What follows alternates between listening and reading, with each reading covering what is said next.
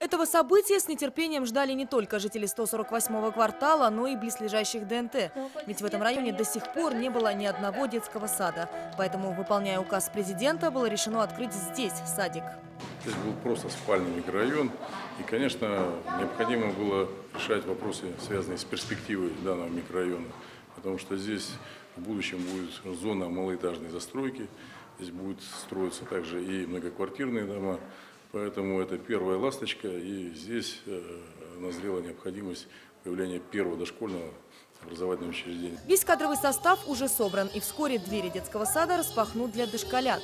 Общеобразовательная программа обещает быть разнообразной. Предполагается, конечно, здесь работать нам по экологии мы хотели бы, потому что кругом окружение лес, экологическое воспитание взять.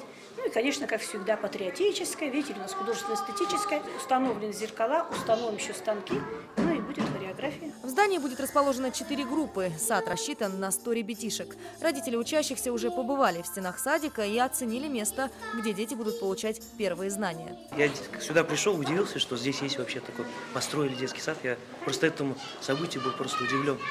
И, конечно, этому я очень рад. И приходите сюда, в детский сад, приводите своих детей. Юлия Пермякова, Руслан Батуев, Жаргал Царендашиев. Новости дня.